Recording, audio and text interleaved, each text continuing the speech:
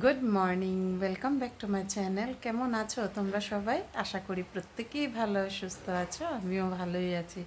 আজকে সোমবার এখন বাজে সকাল সাড়ে আটটা। সবাই চলে গেছে। ওদেরকে ব্রেকফাস্ট দিয়ে দিয়েছি, টিফিনও দিয়ে দিয়েছি।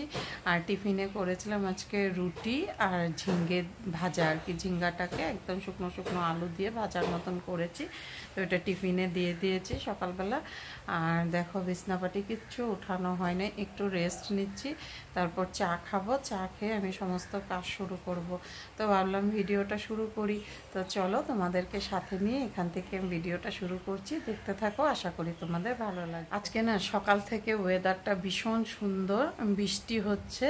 বৃষ্টি মানে খুব একটা বৃষ্টি হচ্ছে না মানে ঝিরিঝিরি ঝিরিঝিরি বৃষ্টি পড়ছে, কিন্তু গরম নাই।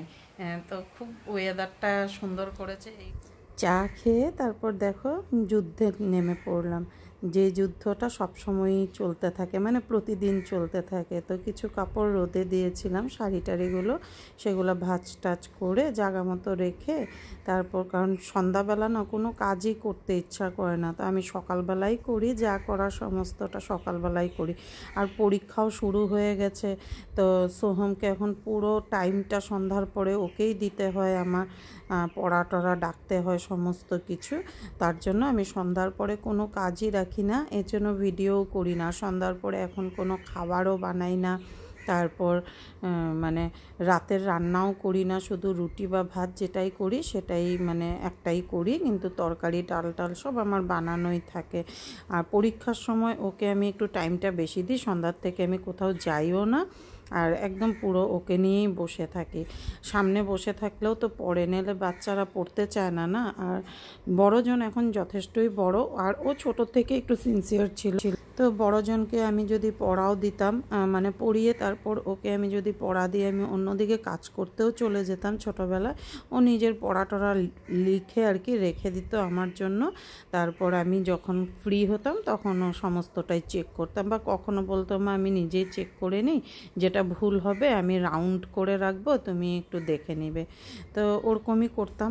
তো চলো আমি আগে স্নানটা করে আসি।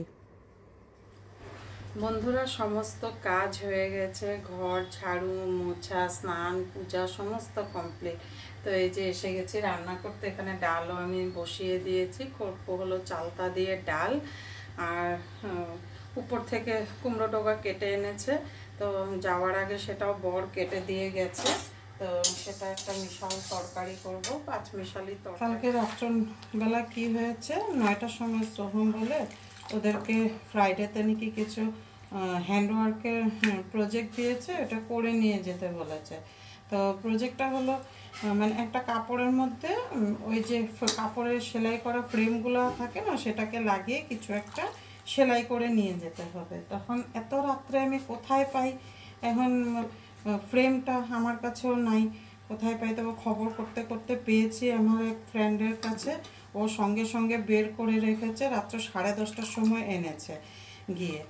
আনার পর, তারপর তো আমার আর ইচ্ছা করছিল না এত রাত্রেগুলো করতে। সকালবেলা উঠে, আজকে সকালে উঠে আমি টিফিন রেডি করে, সমস্ত খাওয়া রেডি টেডি করে, তারপর ওদেরকেও খাওয়া দিয়ে আমি তারপরে কোনো মতে বড়ো ছেলেকে বলেছি, কাপড় একটা দিয়ে তুই ফুল, একটা যে কোনো ফুল আঁক, আমি ওটাকে সেলাই করে দিই।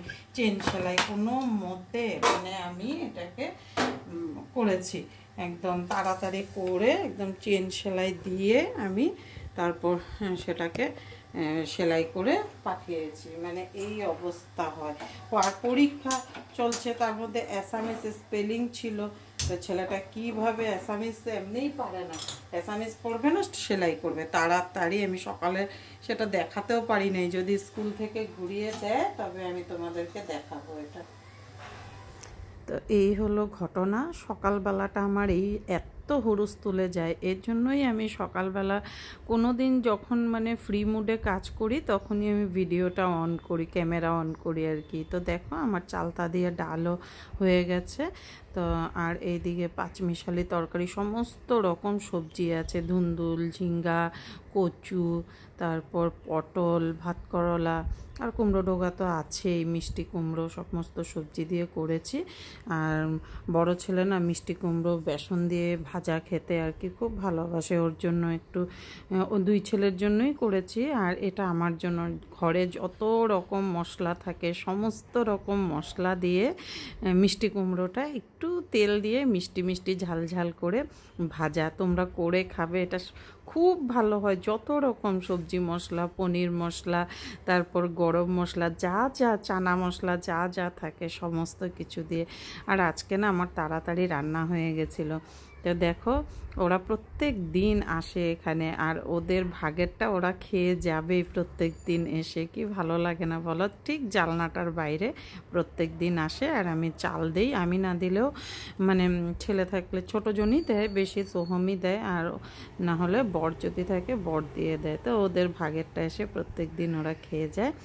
আর রান্না হয়ে গেছিল, তো ওকে চাল ওদেরকে চাল দিয়ে দিয়েছিলাম। তো আমি না সকালবেলা একটু মালপোয়া গুলে রেখেছিলাম, ভেবেছিলাম সন্ধ্যাবেলা করব।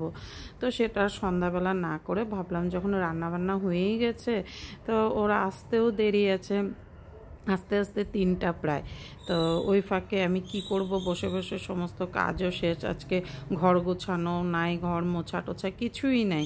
তো শোয়া, শুয়ে শুয়ে মোবাইল দেখাচ্ছে, আমি এই কাজটাই করে রাখি। তো মালপোয়াটা ভাজলাম, আর একটা না চাল কুমড়ো দেখি একদম সুটা সুটা হয়ে গেছে। তো ভাবলাম এটাও করে রাখি, তো রাতের বেলা হয়ে যাবে আর কি। রুটি দিয়ে খেতে পারবে। তো তাড়াতাড়ি করে এটাও করে নিলাম। তো করতে করতে দেখি বড় এসে গেছে বাচ্চাদেরকে নিয়ে। এখন সবাইকে লাঞ্চটা দিয়ে আমিও খেয়ে নেব। তো চলো দিনটা এইভাবেই শেষ করলাম। মানে রাতের বেলা আর কিছু করব না, সেটা যার জন্য ভিডিও করব না। তো ভিডিওটা কেমন লাগল অবশ্যই কমেন্ট করে জানিও। ভালো লাগলে লাইক শেয়ার সাবস্ক্রাইব করে দিও। আর আমার পাশে থেকো কিন্তু তোমরা। তো চলো সবাই ভালো থেকো, সুস্থ থেকো। টাটা!